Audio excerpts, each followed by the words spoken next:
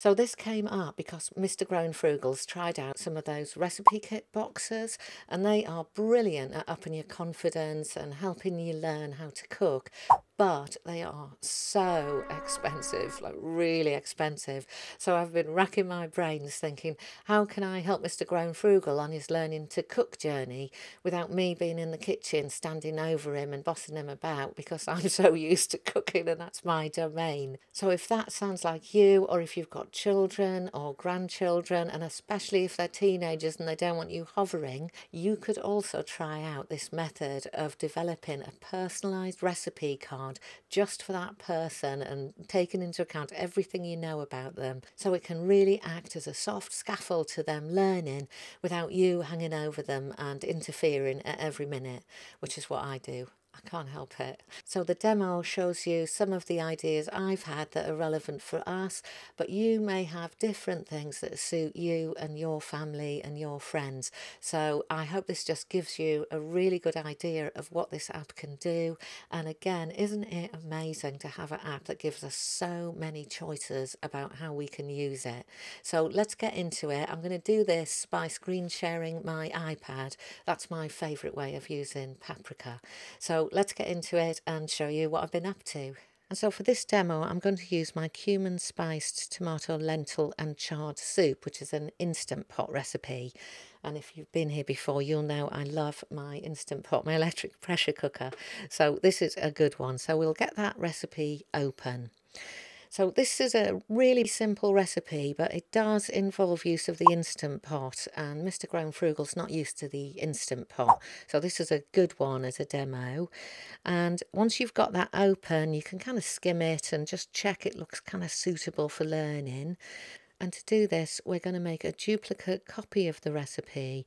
That is going to be our personalised recipe card. So to do that, you'll press the three little dots at the top menu, just next to the heart there. And when you do that, you will get an option to duplicate. So click that duplicate. And now, if you can see, we've now got cumin spice, tomato, lentil and chard soup in the Instant Pot copy. So I'm going to change that. Mr. Growing Frugals cumin spiced tomato, lentil and chard soup in the Instant Pot and that lets me know that this is the one that I've adapted. So we'll save that. So in the top right you've got a save and I do save a lot as I go along when I'm doing this. Better be safe than sorry. So you may have come across the ability to add photos to your own recipe cards. If you're downloading a recipe card from the internet it often brings in the image um, but for our own recipes it would be about taking some photos of recipes as you go along. Okay, so I'm going to click into the photos section and the little right hand arrow that's there. So what we're going to do is to add photos to our recipe card to help your family member out at any part where you know they're likely to get stuck or need a bit of guidance or the kind of things that they struggle with as a new cook as anyone would.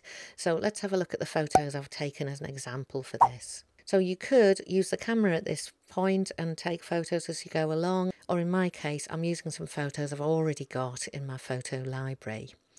So here's some of the ideas I had. Okay, so the first thing I'm going to do is to add a thumbnail. I've already got a nice pretty picture from when I did a YouTube video on this soup. So we'll put that in as a thumbnail and Paprika will just insert that for us. And then I want to add some more photos.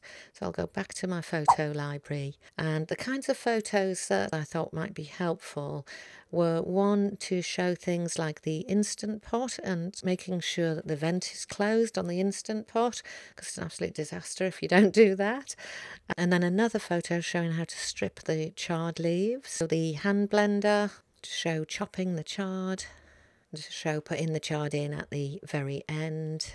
And then I'm also wanting to show which Instant Pot and which Instant Pot lid we're using because I've got a bit of a collection going. So anything that you think might be useful to your person, what do they stumble on? What are they not sure about? What is it hard to do when you're first starting out cooking?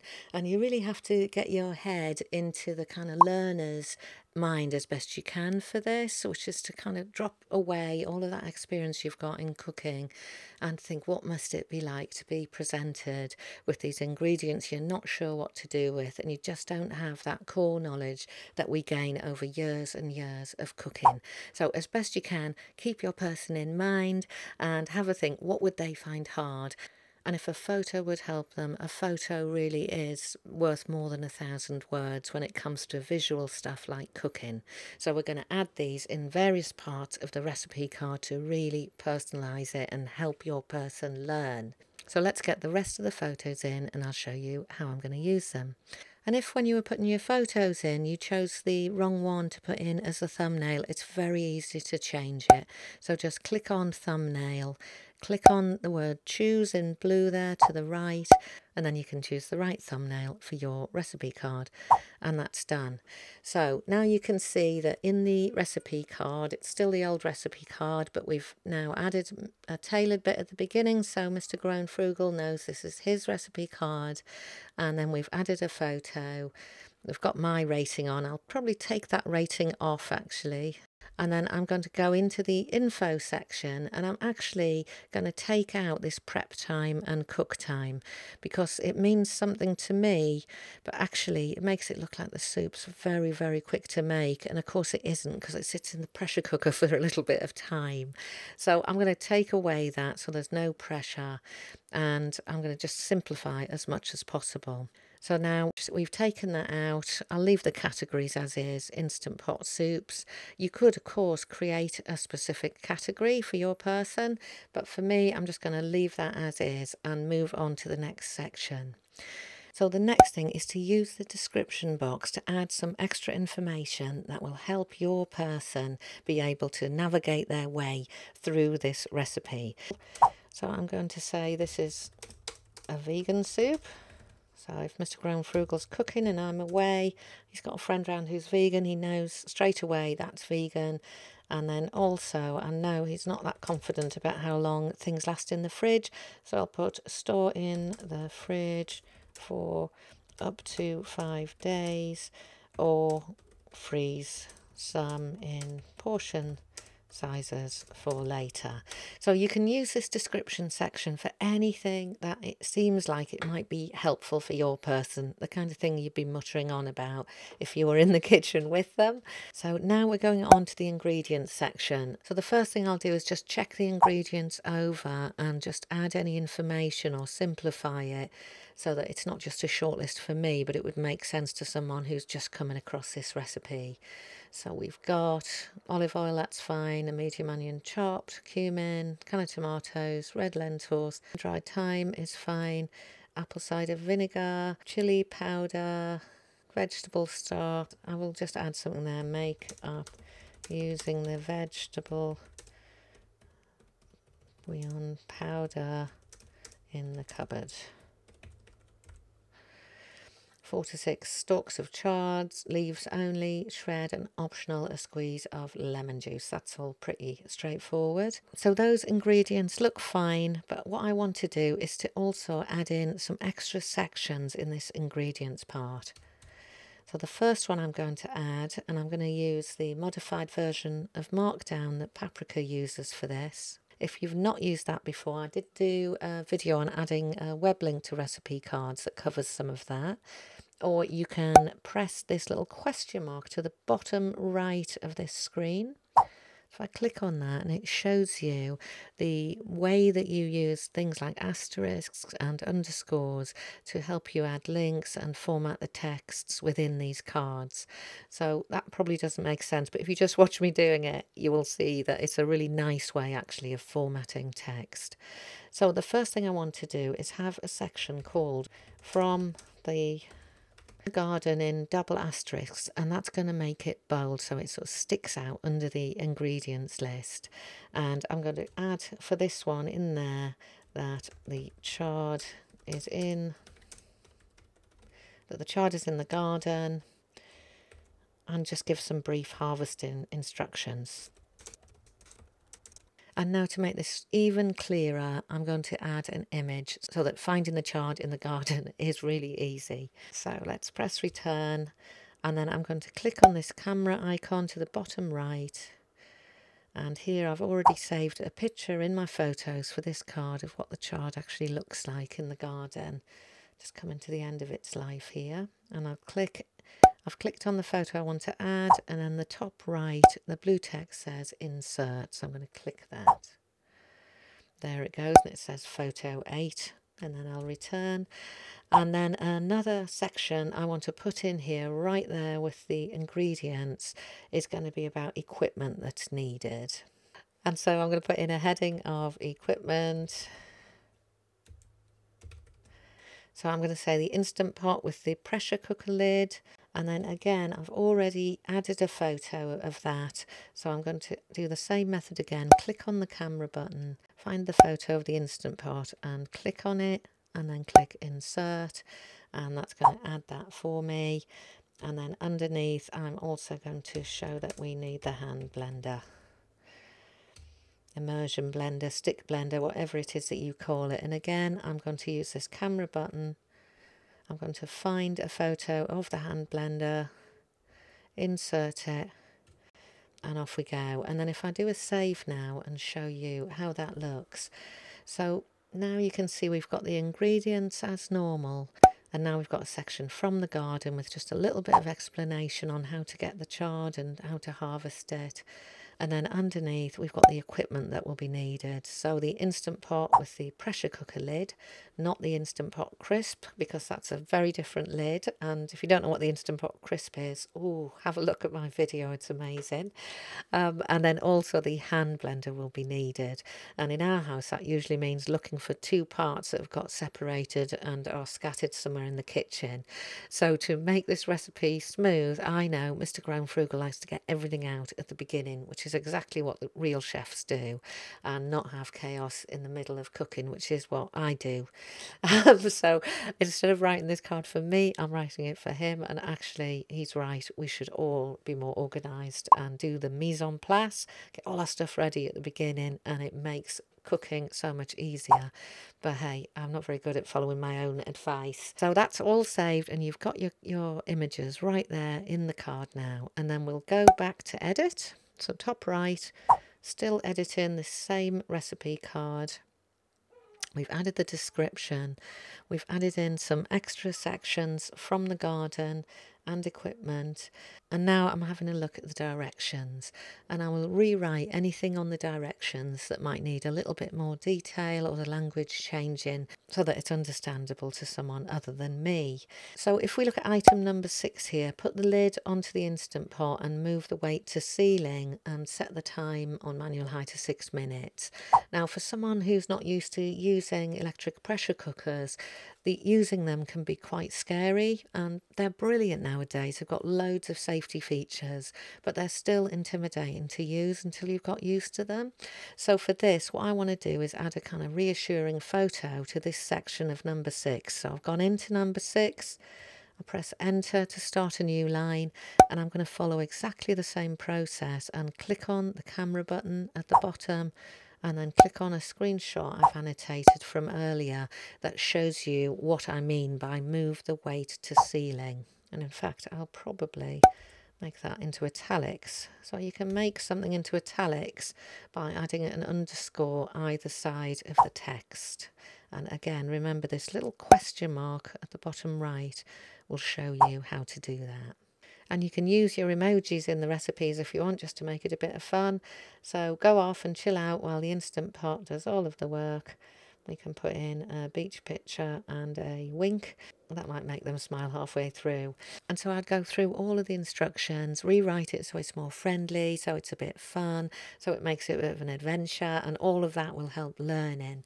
And don't forget you can add emoticons or you can add extra photos to clarify anything at all as you go through. So let's have a look what else we might add.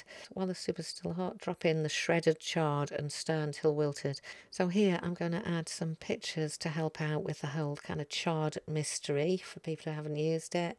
So I'm going to add in pictures here of me taking the chard leaf off the stalk and also of how to shred the chard, which you do by kind of rolling it like a little cigar um, and then shredding. It's quite a nice thing to do actually. So we'll insert those into there and then check the rest of the recipe and add any other pictures that will be helpful. And then finally, I'm going to use the end of this recipe card to add in some extra little bits to help out Mr. Grown Frugal as he's doing this recipe.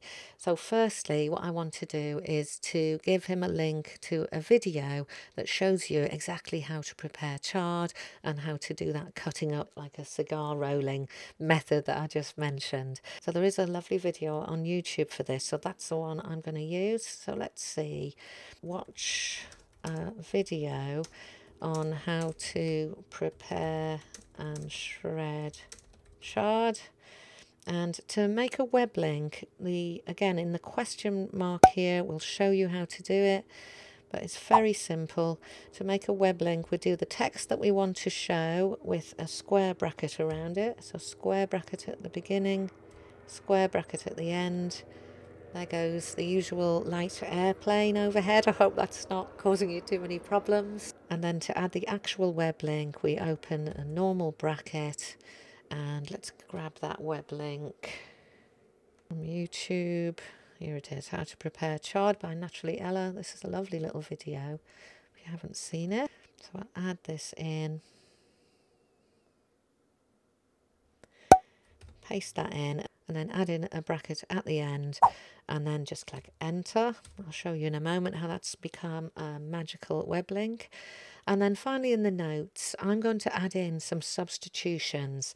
So if you're not used to cooking and you find, for instance, you haven't got any, uh, let's say, apple cider vinegar in this recipe, that can really stump you and you think you can't make the recipe. So if there's anything in the recipe that you're teaching on where there are kind of really common substitutions, that's really helpful for the recipe itself and also just helps someone learn more what you can kind of swap in and out very easily.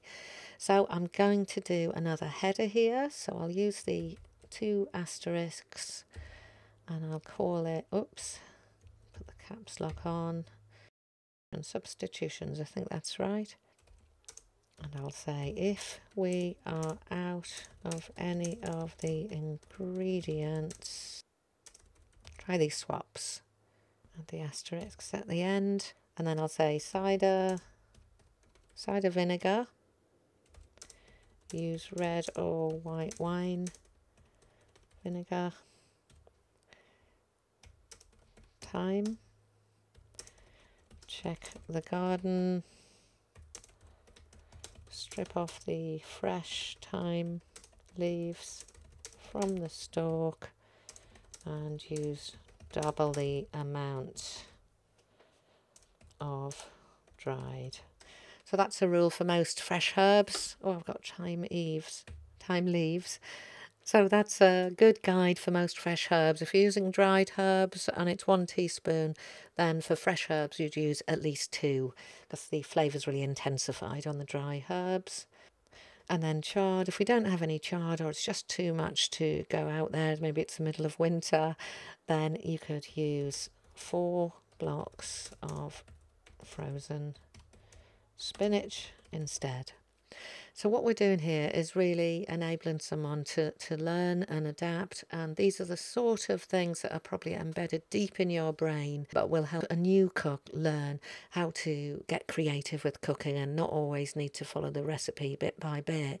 And this is why using this method rather than getting in those expensive recipe kits is better, I think, because someone is actually learning how to duck and dive as they're cooking and how to try things out and be experimental experimental rather than just been given a tiny bit of everything, um, which is lovely for an initial confidence build, but I don't think in the long term is a great teaching tool because we don't what we don't want to do is to make cooking feel like it's a really troublesome thing and if you feel that because there's not apple cider vinegar you have to go to the shop and get some before you can get on with cooking that can be really off-putting and in these times actually quite impractical. So as many substitutions as you can think of make a note of them here and again that will help someone really learn how we do this stuff So now we've got our photos in here, we've simplified the info, we've added a bit of a description there and some information about storage.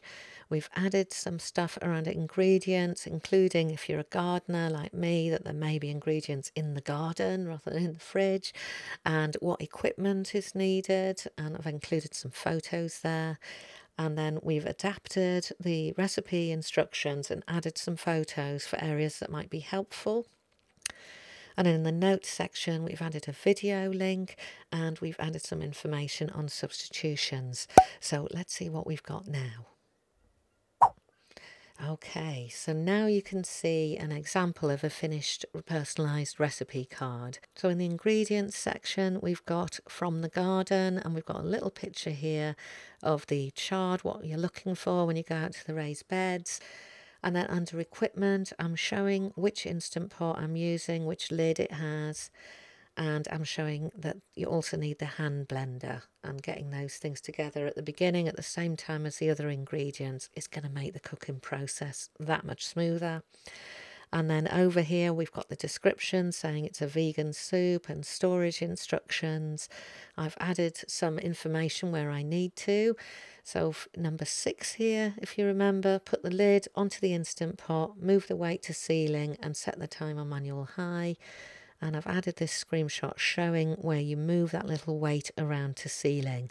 This is on the old Instant Pot, the Duo 6 litre. And then further down here, I've added a little bit of information about the chard. So I've shown how I'm chopping it up there, shown how I'm taking the leaf off the stalks, which aren't used in this particular recipe. And then finally in the notes section, I've added a link to a helpful video. So let's click that and see how it works. And there we are. We've got to this video by Naturally Ella. Thank you, Naturally Ella, for this. So if they're not sure, you can actually watch a video and get even more instructions back to the card. And then at the very end in the notes section here some ideas about substitutions so that if we're out of the ingredients here's some swaps you could use. And I've put that at the bottom because I think as a learner it's a bit overwhelming sometimes to have too much information. So I like to format mine. So I've got ingredients and from the garden and the equipment this side. And then any kind of extra things that might be a bit more complicated or optional I've got in the notes section. So, a couple of ways of sharing this. So, the person who's learning to cook can get this into their version of Paprika. So, if they're using Paprika on iOS here, it's under family sharing, so you only pay once for it, but they may have their own login. So, if they've got their own login, you want to send the whole of this recipe card over to them. So, you'd go to the top of the screen here and to the three little dots click on that and you can either email this recipe card so if we're using the email function, all of the extra images won't be in the body of the email.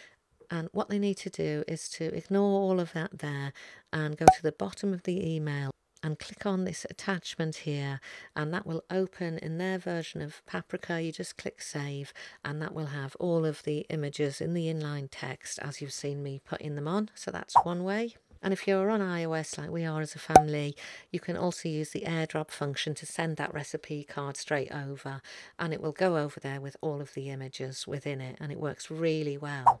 So there we have it. Mr. Growing Frugal can just put in his name here and and you'll find a recipe card for him with some additional steps with some nice easy, friendly instructions and some pictures to help really understand what this recipe is about. So I think that's a brilliant way of supporting anyone in the family or your friends who are using paprika to learn to cook without being that person that's standing over them and kind of hampering their own style and they can find their own way and that's how you create a personalised recipe card. So please give me a like if you enjoyed this video and I look forward to seeing you next time.